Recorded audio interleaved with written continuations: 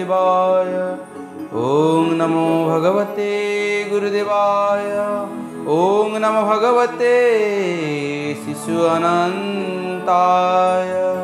मन्नाथ श्रीजगन्नाथ मद्गुरु श्रीजगद्गुरु मदात्मा सर्वभूतात्मा, तस्मै श्रीगुरवे नमः। हे कृष्ण करुणा सिन्धु दीनबन्धु जगत्पते गोपेश गोपिकान्त राधाकान्त नमोऽस्तु ते। सच्चिदानन्दरूपाय विश्वदपत्यादिहेतवे। तापत्रयविनाशाय श्रीकृष्णाय वयं नमः मुखं करोति वाचालं पङ्गुं लङ्घयते गिरिं। जत्कृपातमहं वंदे परमानन्दमाधवम्। श्रीकृष्णगोविन्द हरे मुरारे हे नारायण वासुदेव श्रीकृष्ण गोविन्द हरे मुरारे नारायण वासुदेव। हरे मुरारे मधुकैट भारे गोविन्द गोपाल मुकुन्द सूरे। हरे मुरारे मधुकैट भारे गोविन्द गोपाल मुकुन्द सौरे। जगे सना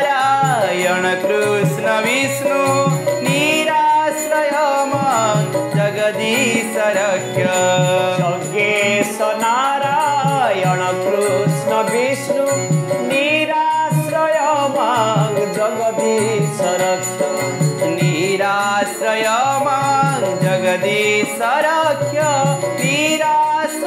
मां जगदीशरक्ष वीराश्रय मां जगदीशरक्ष वीराश्रय मां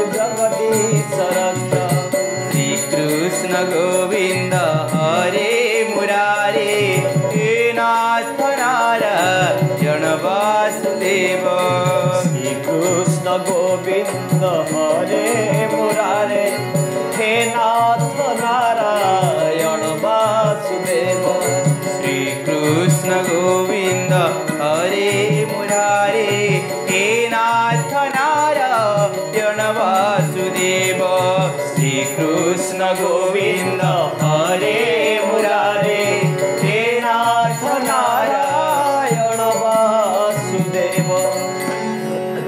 ମଦୀୟ ପ୍ରାଣ ଇଷ୍ଟ ପ୍ରାଣବଲ୍ଲଭ ସର୍ବବତାର ସାର କୋଟି ବ୍ରହ୍ମାଣ୍ଡ ପାଳକ ପ୍ରାତସ୍ମରଣୀୟ ମରିଷ୍ଠ ଦେବ ଭଗବାନ କିରାତ ସାହି ଶିଶୁନନ୍ଦଙ୍କୁ ପ୍ରଭୁ ଜଗନ୍ନାଥଙ୍କ ସ୍ୱରୂପରେ ସେବକ ବିନମ୍ର ପ୍ରଣାମ ନିବେଦନ କରୁଛି ପ୍ରତିଟି ସଦ୍ଗୁରୁମାନଙ୍କୁ ମୋ ଗୁରୁଦେବ ବିଶ୍ୱପ୍ରେମୀ ବଳିଆଙ୍କ ସ୍ୱରୂପରେ ପ୍ରଣାମ ନିବେଦନ କରୁଛି ଅନେକ ଏକାଧିକ ଅଗଣିତ ଶ୍ରୋତାମାନଙ୍କୁ ଏ ସେବକ ପ୍ରଣାମ ନିବେଦନ କରୁଛି ଆମେ ଗତ ଅଧ୍ୟାୟରେ ଶ୍ରବଣ କରୁଥିଲେ କିଭଳି ଭାବରେ ଜଣେ ମଣିଷ ଦୁଃଖକୁ ନିଜେ ନିଜେ ଜାଣି ଜାଣି ନିମନ୍ତ୍ରଣ କରୁଛି ଦୁଃଖ ତାକୁ କେହି ଦେଇନାହାନ୍ତି ଆମେ କହିବା ସେ ୟା ପାଇଁ ଦୁଃଖ ପାଇଲା ତା ପାଇଁ ଦୁଃଖ ପାଇଲା କିନ୍ତୁ ଦୁଃଖ ତାର ଆଶା ପାଇଁ ତାର ଆକାଂକ୍ଷା ପାଇଁ ସେ ଦୁଃଖ ପାଇଗଲା। କିନ୍ତୁ ଆମେ ଜାଣିଲେ ଜଣେ ପୁତ୍ରଟିଏ ତାର କର୍ମ ପାଇଁ ଗୋଟିଏ ପରିବାର ଭାସିଗଲା। ଗୋଟେ ପରିବାର ଭିତରେ ଯଦି ଗୋଟିଏ ଯୁବକଟିଏ ବିଶୃଙ୍ଖଳା ହେଇଯାଏ ନା ପରିବାରଟି ଅଶାନ୍ତିରେ ଗତି କରେ। ଆଜି ଏଇ ଯୋଉ ପରିବାର ଭିତରେ ଆଜି ଯୋଉ ବିଶୃଙ୍ଖଳା ଦେଖାଯାଇଛି ଜଣେ ମାତ୍ର ରହିଛନ୍ତି ଯାହାଙ୍କର ନାମ ହଉଛି ଗୋକର୍ଣ୍ଣ। ଭଗବତ ପିପାସୁ ଭଗବତ ଚିନ୍ତନରେ ନିବିଡ଼ ରହିଛନ୍ତି। ସେ ଯେତେବେଳେ ଶୁଣିବାକୁ ପାଇଲେ ଯେ ତାଙ୍କର ପିତା ଆତ୍ମଦେବ ମୃତ୍ୟୁବରଣ କରିଛନ୍ତି ମା ଧୁନ୍ଦୁଲି ମୃତ୍ୟୁବରଣ କରିଛନ୍ତି ସେତେବେଳେ ସିଏ ଗୟା ତୀର୍ଥକୁ ଗଲେ ଯୋଉଠି ଆମେ ସମସ୍ତେ ପିଣ୍ଡ ଦାନ କରୁ ସେ ପିଣ୍ଡ ଦେଉଥିବା କ୍ଷେତ୍ରରେ ଯାଇକି ପହଞ୍ଚି ଗଲେ ଗୋକର୍ଣ୍ଣ ମନେ ମନେ ସ୍ମରଣ କରୁଛନ୍ତି ମନେ ମନେ ଚିନ୍ତନ କରୁଛନ୍ତି ଆହା।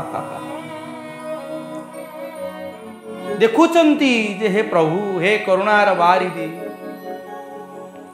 ମୁଁ ଜାଣିଛି ପ୍ରଭୁ ଯେ ଆପଣ ହଉଛନ୍ତି ସ୍ୱୟଂ ଏବଂ ସ୍ୱତନ୍ତ୍ର। ଏ ଗୟା ତୀର୍ଥ ଏଭଳି ଏକ ତୀର୍ଥ ଆଜି ବି ଭାରତୀୟ ପରମ୍ପରାରେ ଆଜି ବି ଆମ ପରିବାରରେ କେହି ଜଣେ ଚାଲିଗଲେ। ଆମେ ସେଠି ପିଣ୍ଡଦାନ କରୁ କାହିଁକି? ମୁକ୍ତି ପାଇଯିବେ। ଯେଉଁଥିପାଇଁ ସେ ଚାହୁଁଥିଲେ ଆଜି ସେଇ ଅବସ୍ଥାରେ ସିଏ ତାଙ୍କର ପୁତ୍ର ପିଣ୍ଡଦାନ କରୁଛି ଦେଖନ୍ତୁ ବାସ୍ତବରେ ତାଙ୍କ ପୁତ୍ର ହଉଛି କିଏ ଧୁନ୍ଦୁକାରୀ ଧୁନ୍ଦୁକାରୀ ଆଜି ତାଙ୍କ ପାଇଁ ପିଣ୍ଡ ଦାନ କରୁଛି ସାଧୁଙ୍କ ଆଶୀର୍ବାଦରୁ ଯେଉଁ ଫଳଟି ଦେଇଥିଲେ ସେ ଫଳଟିକୁ ଖାଇ ନଥିଲେ ଧୁନ୍ଦୁଲି ଗୋମାତାଙ୍କୁ ଦେଇ ଦେଇଥିଲେ। ସେଇ ପୁତ୍ର ଆଜି ଗୋଟେ ପରିବାରର ମୁକ୍ତି ପାଇଁ ପିତାମାତାଙ୍କର ମୁକ୍ତି ପାଇଁ ସେ ଆଜି ପିଣ୍ଡ ଦାନ କରୁଛନ୍ତି। ହେଲେ ଗୟା ଧାମ ଗୟା ତୀର୍ଥ ଏ ଗୟା ତୀର୍ଥ କ'ଣ?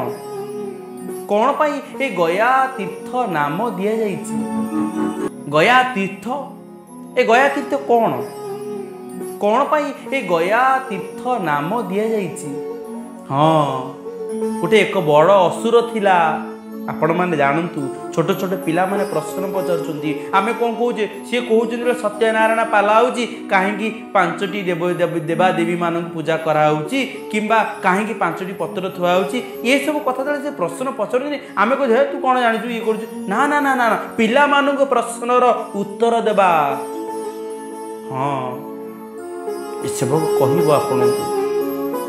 ନହେଲେ ଆମର ପିଲାମାନେ ଆମର ମୋର ପୂର୍ବାଚାର୍ଯ୍ୟମାନେ ବିଜ୍ଞାନକୁ ନେଇକି ସବୁ କଥା ଧର୍ମ ସହିତ ଯୋଡ଼ିଛନ୍ତି ଆଜି ଯାହା ବି କିଛି ରିସର୍ଚ୍ଚ ହେଉଛି ଏଇ ଧର୍ମକୁ ନେଇକି ରିସର୍ଚ୍ଚ କରାଯାଉଛି। ଦି ଜଣ ଦେଖନ୍ତୁ। ପୁତ୍ର ଗୋଟିଏ ପୁତ୍ରର କର୍ମ କ'ଣ ଆଉ ଗୋଟିଏ ପୁତ୍ରର କର୍ମ କ'ଣ? ଏ ଗୟାଧାମ ଗୟା ତୀର୍ଥ ନାମକରଣ ହେବାର କାରଣ ରହିଛି ସେ କାରଣ ଆପଣମାନଙ୍କୁ କହିଦେଉଛି ଆପଣମାନେ ମଧ୍ୟ ଜାଣନ୍ତୁ। ଏକ ବିରାଟ ବଡ଼ ଅସୁର ଥିଲା ଯାହାଙ୍କ ନାଁ ହେଉଛି ଗୟାସୁର। ଏ ଗୟାସୁର ତାର ପ୍ରତିପତ୍ତି ତାର ପ୍ରଭାବ ଚାରିଆଡ଼େ ବଢି ବଢି ଚାଲିଥିଲା। ଆଉ ଏ ଗୟାସୁର ବ୍ରହ୍ମାଙ୍କୁ ପ୍ରାର୍ଥନା କଲା। ବ୍ରହ୍ମାଙ୍କୁ ଯେତେବେଳେ ପ୍ରାର୍ଥନା କଲା ବ୍ରହ୍ମା ଆସି ତାଙ୍କ ଆଗରେ ତାଙ୍କ ପ୍ରାର୍ଥନାରେ ସନ୍ତୁଷ୍ଟ ହେଇକି ତାଙ୍କ ଆଗରେ ଠିଆ ହେଲେ। କହିଲେ ବସ ତୁମେ କି ବର ମାଗୁଛ? ମାଗ ତୁମ ପ୍ରାର୍ଥନାରେ ତୁମ ସାଧନାରେ ମୁଁ ଖୁସି। ଭଗବାନଙ୍କୁ ପାଇଛନ୍ତି ବ୍ରହ୍ମଦେବଙ୍କୁ ପାଇବା ପରେ ମନେ ମନେ ଖୁସି ହେବା କଥା। କିନ୍ତୁ ସେ ଖୁସି ହେବା ବଦଳରେ ଅହଙ୍କାର କଲେ। ତମର କ'ଣ ଦରକାର କୁହ ମୁଁ ତମକୁ ଦେବି। ବଡ଼ ଆଶ୍ଚର୍ଯ୍ୟ ହେଇଗଲେ ବ୍ରହ୍ମା କହିଲେ ଇଏ କ'ଣ? ମତେ ତମେ କ'ଣ ବର ଦବ ହୋ? ମୁଁ ତମକୁ ବର ଦେବି। ଯେମିତି ରାବଣ ଯେତେବେଳେ ଧନୁ ଉଠେଇବା ପାଇଁ ଜନକପୁରୀ ଯାଇଥିଲେ ଜନକପୁରୀରେ ଧନୁ ଉଠେଇ ପାରିଲେ ନାହିଁ। ହଁ ରାବଣ ଯାଇଛନ୍ତି ଧନୁ ଉଠେଇ ପାରିନାହାନ୍ତି ଶିବଙ୍କର କୃପା ହେଇନି। ଏକଥା ଶାସ୍ତ୍ରରେ ମଧ୍ୟ ଲେଖା ଅଛି। ଆପଣ ଜାଣିଛନ୍ତି ଗୋଟିଏ କଥା ସୁନ୍ଦର କଥାଟିଏ? ଶିବଙ୍କ ଆଗରେ ମହାଦେବଙ୍କ ଆଗରେ ରାବଣ ଛିଡ଼ା ହେଇ କହୁଛନ୍ତି ମହାଦେବ ମୁଁ ତମକୁ ତମ ମୋ ଭଳି ଗୋଟିଏ ଶିଷ୍ୟ ପାଇ ତମେ ଗର୍ବିତ। ହବା କଥା କିନ୍ତୁ ତମେ ମୋତେ ସମସ୍ତଙ୍କ ଆଗରେ ଅପମାନିତ କରି ଚାଲିଛ ଦେଖନ୍ତୁ ମଣିଷ ଅହଙ୍କାର ହେଇଗଲେ କ'ଣ ହେଇଯାଏ ସେ ମନେ ମନେ ଭାବି ନେଲେ ଯେ ଯାହାଙ୍କର କୃପା ବଳରେ ସେ ଏତେ ସାମର୍ଥ୍ୟର ଅଧିକାରୀ ହେଲେ ଯେଉଁ ରାବଣ ସେ ରାବଣ କିନ୍ତୁ କ'ଣ କଲେ? ଅହଙ୍କାର ପାଇଁ ସେ ନିଜ ଲଙ୍କାକୁ ମଧ୍ୟ ପୋଡ଼ିଦେଲେ। ଇଏ ଗୟାସୁର ଅହଙ୍କାର ପାଇଁ ବ୍ରହ୍ମାଙ୍କୁ ମଧ୍ୟ ଅସମ୍ମାନ କଲେ। ବ୍ରହ୍ମା କହିଲେ ତମେ କ'ଣ ବର ମାଗୁଛ ମାଗ ବ୍ରହ୍ମା କହିଲେ ଯେ ମୁଁ ଚାହୁଁଛି ତୋ ଛାତି ଉପରେ ତୋ ପେଟ ଉପରେ ଯଜ୍ଞ କରିବୁ। କହିଲେ ଏଇ ବର ମୁଁ ଶୋଉଛି। ଗୟାସୁର ଶୋଇଲା ତା ଉପରେ ଯଜ୍ଞ ଚାଲିଲା ଯଜ୍ଞ ଚାଲିଲା ଚାଲିଲା ଚାଲିଲା। କିନ୍ତୁ ଗୟାସୁର କିଛି ପ୍ରଭାବ ହେଲାନି ସିଏ ପୁରା ଆନନ୍ଦରେ ଶୋଇ ଘୁଙ୍ଗୁଣି ମାରିଲା। ବ୍ରହ୍ମା ବଡ଼ ଆଶ୍ଚର୍ଯ୍ୟ କଲେ ଏତେ ବଡ଼ ଅସୁର ଏତେ ବଡ଼ ଅସୁର ରହିକି ବର୍ତ୍ତମାନ ସମାଜରେ କଳା କଳଙ୍କର ଛାୟା ବୋଳିଦେବ। ଭଗବାନ ନାରାୟଣଙ୍କୁ କହିଲେ କହିଲେ ପ୍ରଭୁ ଏଭଳି ଏକ ଜଣେ ମା ଅସୁର ଆସିଛି ତାକୁ ଆମେ କ'ଣ କରିବା? ନିଜେ ଭଗବାନ ଆସିଲେ ଯେତେବେଳେ ବିପଦ ଆସିଛି ଭଗବାନ ନିଜେ କୌଣସି ନା କୌଣସି ରୂପ ଧାରଣ କରି ଆସନ୍ତି। ଭଗବାନ ଆସିଲେ ତା ଛାତି ଉପରେ ଚଢ଼ିଗଲେ। ଗୟାସୁର ଚିତ୍କାର କରିକି ମୃତ୍ୟୁବରଣ କରିବା ପୂର୍ବରୁ ଗୟାସୁର କହୁଛନ୍ତି ଭଗବାନଙ୍କୁ ପ୍ରଭୁ ବର ସିନା ମୁଁ ବ୍ରହ୍ମାଙ୍କ ଠାରୁ ନେଇନଥିଲି କିନ୍ତୁ ଆପଣଙ୍କ ଠାରୁ ବର ନେବି ଆପଣ ମୋତେ ଗୋଟିଏ ବର ଦେବେ। ଭଗବାନ ହେଉଛନ୍ତି କୃପାଳୁ ଭଗବାନ ହେଉଛନ୍ତି ଦୟାଳୁ। ଭଗବାନ କହୁଛନ୍ତି କ'ଣ ମାଗିବ ମାଗ ସେ କାହାକୁ ମାରି ନାହାନ୍ତି ସମସ୍ତଙ୍କୁ ମୁକ୍ତି ଦେଇଛନ୍ତି ସମସ୍ତଙ୍କୁ ତାରଣ କରିଛନ୍ତି ସମସ୍ତଙ୍କୁ ବୁଝେଇଛନ୍ତି। କ'ଣ ମାଗୁଛ ମାଗ?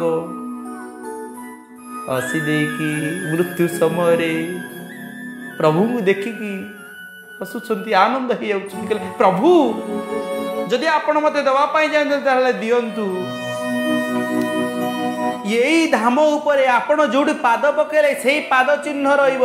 ଆଉ ଏଇଠି ଯୋଉମାନେ ଆସିକି ପିଣ୍ଡଦାନ କରିବେ ସେମାନଙ୍କର ପିତୃକୁଳ ରକ୍ଷା ହବ।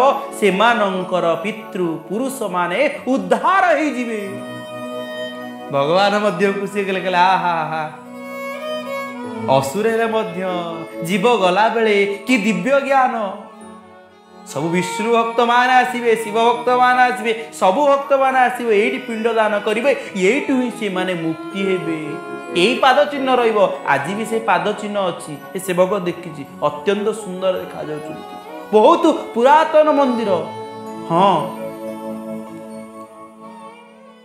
କିନ୍ତୁ ପ୍ରିୟ ସଜ୍ଜନ ସେଇ ତୀର୍ଥରେ ସେଇ ତୀର୍ଥ ଭିତରେ ରହିକି ଆଜି ଗୋକର୍ଣ୍ଣ ପିଣ୍ଡ ଦାନ କରୁଛନ୍ତି ନିଜର। ପିତାଙ୍କ ପାଇଁ ନିଜ ମାତାଙ୍କ ପାଇଁ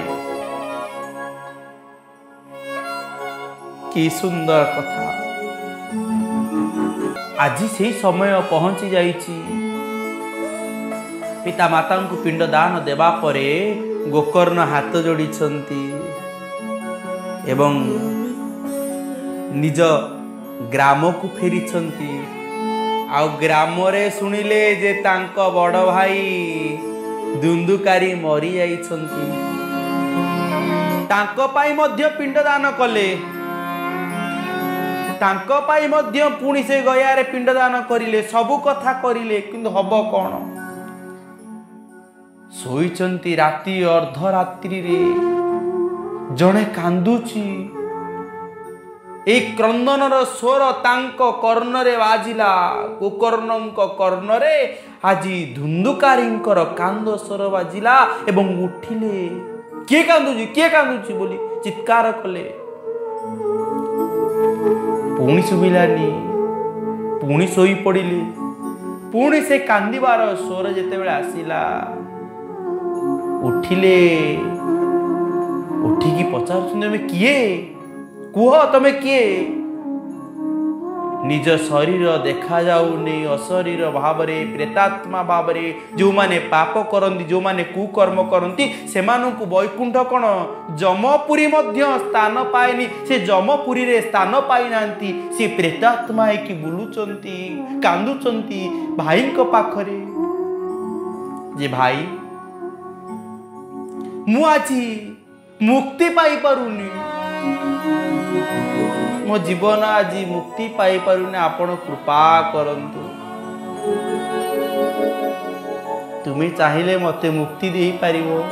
ବଡ଼ ଆଶ୍ଚର୍ଯ୍ୟର କଥା ଆରେ ମୁଁ ପରା ତୋରି ପାଇଁ ଗୟାରେ ପିଣ୍ଡଦାନ ଦେଇଛି। ତୋ ପାଇଁ କେତେ କ'ଣ କରିଛି? ସେ ହାତ ଯୋଡ଼ି କହୁଛନ୍ତି ମୁଁ ଏମିତି ପାପ କରିଛି। ଯମ ଲୋକରେ ମଧ୍ୟ ମୋତେ ସ୍ଥାନ ନାହିଁ। ମୁଁ ପ୍ରେତାତ୍ମା ହେଇକି ଘୁରୁଛି। ଭାଇ ଭଳି ଭାଇଟିଏ ଯଦି ଉତ୍ତମ ଭାଇଟିଏ ଅଛି ନା ଯେତେ ଭୁଲ କରିଥିଲେ ମଧ୍ୟ ଆପଣ ଦେଖିବେ ସାଙ୍ଗରେ ଥିଲେ ଭାଇ ଡର କାହାକୁ ନାହିଁ। ଯେତେବେଳେ ଭାଇ ଅଛି ନା ଭାଇ ତଥାପି ଭାଇଟି ପାଇଁ ଚିନ୍ତା କରୁଛି। ଗୋକର୍ଣ୍ଣ ଚିନ୍ତା କରୁଛନ୍ତି ଧୁନ୍ଦା ଧୁନ୍ଦୁକାରୀଙ୍କ ପାଇଁ କେମିତି ମୋ ଭାଇଟା ମୁକ୍ତି ପାଇଯିବ? ସେଇଥିପାଇଁ ତ କୁହାଯାଇଛି ନା ଶାନ୍ତି ମୁକ୍ତି ଦିନ ଦୟାଲ ତୁମେ ଭକ୍ତ ସାଇ। କୃପା ନିଧି ଦୟା ବାରିଧି ପ୍ରଭୁ ନାମ ବୋଲାଇ ଶାନ୍ତି ମୁକ୍ତି ଦିନ ଭକ୍ତ ସାଇ କୃପା ନିଧି ଦୟା ବାରିଧି ପ୍ରଭୁ ନାମ ଇଏ କୃପା ନିଧି ଦୟାର ବାରିଧି ସିଏ ହଉଛନ୍ତି ପ୍ରଭୁ ତାଙ୍କରି ଭକ୍ତ ତାଙ୍କରି ଶିଷ୍ୟ ହଉଛନ୍ତି କିଏ ଗୋକର୍ଣ୍ଣ ସେ ତ ମୁକ୍ତି ଦେବାର ବାଟ ପାଇଯିବେ ହଁ। ରାତି ପାଇଗଲା। ଭାଇ ପାଇଁ ଚିନ୍ତା କରୁଛନ୍ତି ସବୁ ସାଧୁ ସନ୍ଥମାନଙ୍କୁ ଡାକିଲେ। କହିଲେ ଏଭଳି ଏଭଳି କାର୍ଯ୍ୟଟି ହେଇଛି ମୋର ଭାଇଟି ମୁକ୍ତି ପାଇପାରୁନି। ଏତେ ଏତେ ବଡ଼ ପାପ କରିଛି କେମିତି କ'ଣ ମୁକ୍ତି ପାଇବ? ସମସ୍ତେ ଚିନ୍ତିତ ହେଇଯାଉଛନ୍ତି କେହି କିଛି କହିପାରୁନାହାନ୍ତି। କହୁଛନ୍ତି କ'ଣ କରାଯିବ? ବେଦ କହୁଛନ୍ତି ଉପନିଷେଦ କହୁଛନ୍ତି କ'ଣ କହୁଛନ୍ତି? ଓମ୍ ଭଦ୍ରଂ କର୍ଣ୍ଣେଭି ଶୃଣୁୟାମ ଦେବ। କର୍ଣ୍ଣ ଦ୍ୱାରା ଯାହା କରଣୀୟ ଯାହା ଶୁଣିବା କଥା ସେଇ କଥା ସେ ଶୁଣି ନାହାନ୍ତି ଯାହା ହାତ ଦ୍ୱାରା କରିବା କଥା ସେ କରିନାହାନ୍ତି ତେଣୁକରି ମୁକ୍ତି ଦବ କିଏ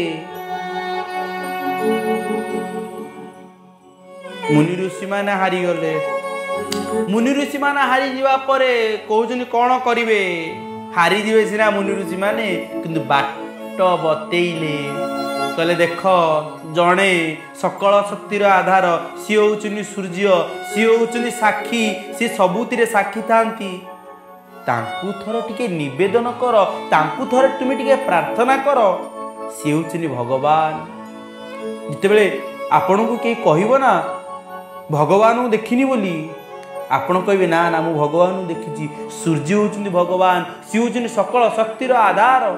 ହେଉଛନ୍ତି ଆପଣଙ୍କ ପାଇଁ ଭଗବାନ ଆମ ସମସ୍ତଙ୍କ ପାଇଁ ଭଗବାନ ଆପଣମାନେ ଭାବୁଛନ୍ତି କି କ'ଣ ଖାଉଛନ୍ତି ସୂର୍ଯ୍ୟଙ୍କ ଠାରୁ ଯେଉଁ ଶକ୍ତି ଆସୁଛନ୍ତି ସେଇ ଶକ୍ତି ମାନେ ଖାଉଛୁ ଆମେ ମୁନି ଋଷିମାନେ ଧ୍ୟାନସ୍ଥ ରହୁଥିଲେ ବର୍ଷ ବର୍ଷ ଧରି ଆଗରୁ କିଛି ନ ଖାଇ ବଞ୍ଚି ଯାଉଥିଲେ କେମିତି ସୂର୍ଯ୍ୟର ସୂର୍ଯ୍ୟର ଆଲୋକ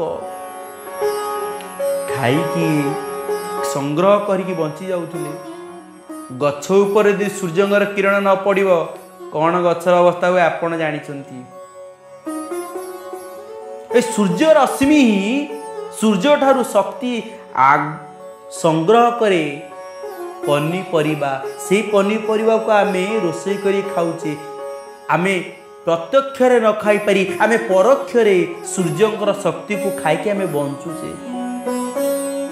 ସିଏ ହେଉଛନ୍ତି ଭଗବାନ। ତାଙ୍କ ବିନା ଏ ସୃଷ୍ଟି ଆତଜାତ ବା ବଡ଼ ଅସମ୍ଭବ। ସିଏ ହିଁ ବିଷ୍ଠା ଠାରୁ ମଧ୍ୟ ଜଳ ସଂଗ୍ରହ କରୁଛନ୍ତି ସିଏ ନାଳ ଠାରୁ ଜଳ ସଂଗ୍ରହ କରୁଛନ୍ତି ପୁଣି ଆମକୁ ମଧୁର ଜଳ ଦେବା ପାଇଁ ବ୍ୟବସ୍ଥା ମଧ୍ୟ କରୁଛନ୍ତି ସିଏ ହେଉଛନ୍ତି ଭଗବାନଙ୍କର କଥା। ଆଉ ସେଇଥିପାଇଁ ଗୋକର୍ଣ୍ଣ କ'ଣ କଲେ ନା ମୁନି ଋଷିମାନଙ୍କର ସାଧୁ ସନ୍ତମାନଙ୍କର କଥାକୁ ଶ୍ରବଣ କରି ଚିନ୍ତା କଲେ କହିଲେ କ'ଣ କରାହବ? ତୁଭ୍ୟଂ ନମୋ ଜଗତ ସାଖିନ ବ୍ରୁହି ମେ ମୁକ୍ତି ହେତୁକମ୍ ପ୍ରଭୁ ତୁମ ବିନା ଏ ସଂସାରରେ ମୁକ୍ତି ଦାତା କେହି ନାହାନ୍ତି। ଆଞ୍ଜୁଳାଏ ପାଣି ଧରିଲେ ପ୍ରଭୁଙ୍କୁ ଟେକିଦେଲେ ସୂର୍ଯ୍ୟଦେବଙ୍କୁ ପ୍ରାର୍ଥନା କଲେ ହେ ସୂର୍ଯ୍ୟଦେବ ତୁମେ ହିଁ ଚାହିଁଲେ ଏ ବାଟ ମତେ ବତେଇ ପାରିବ ସୂର୍ଯ୍ୟଦେବଙ୍କୁ ପ୍ରାର୍ଥନା କଲେ ସୂର୍ଯ୍ୟଦେବ ଆବିର୍ଭାବ ହେଲେ ଆବିର୍ଭାବ ହେବେନି କେମିତି ଏରେ ଭକ୍ତମାନଙ୍କର କଥା ଭକ୍ତଙ୍କର କଥା ଭକ୍ତ ପାଇଁ ସିଏ ଆସିଛନ୍ତି ଆଉ। ଜଣେଇବେ ନିଶ୍ଚିତ ଭାବରେ ଆଉ। ସୂର୍ଯ୍ୟଦେବ ଦେଖିଦେଇକି ହସିଦେଲେ କହିଲେ ଆହା! କହିଲେ ଭାଇ ପରି ଭାଇଟିଏ ପାଇଛି? କୁଳ ଧର୍ମକୁ ରକ୍ଷା କଲା ଭଳି ଗୋଟିଏ ଯୁବକଟିଏ ଆସି ପହଞ୍ଚି ଯାଇଛି। କହୁଛନ୍ତି ହେ ଗୋକର୍ଣ୍ଣ ତୁମ ଭାଇ ପାଇଁ କେହି ମୁକ୍ତିର ପଥ ଦେଖେଇ ପାରୁନାହାନ୍ତି ଆଉ ସେଇ ମୁକ୍ତିର ପଥ ମୁଁ ଦେଖେଇବି ସେଇ ମୁକ୍ତିର ପଥ କ'ଣ ସେଇ ମୁକ୍ତିର ପଥ ଆମେମାନେ ମଧ୍ୟ ଜାଣିବା ଜାଣିବା ପାଇଁ ହେଲେ ଆମେ ଆଗାମୀ ଅଧ୍ୟାୟରେ ଆସନ୍ତାକାଲି ସକାଳେ ଏ ମୁକ୍ତିର ପଥ କ'ଣ ସୂର୍ଯ୍ୟଦେବ କହିଛନ୍ତି?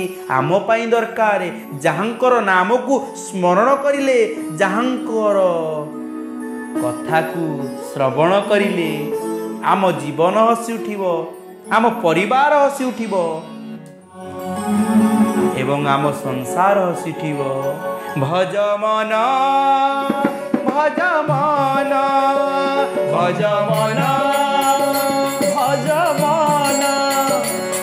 जमाना